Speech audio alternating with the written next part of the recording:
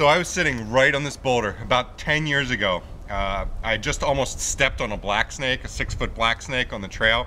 And I was sitting here reading Henry Miller's Colossus of Maroussi very quietly for about half an hour. And a bobcat came right up over the cliff about 20 feet from me, finally saw me, freaked out, ran, out, ran down the trail about 50 yards, and the bobcat and I had a little staring contest for about 10 minutes. It was a really wonderful moment here in the wilds of Connecticut.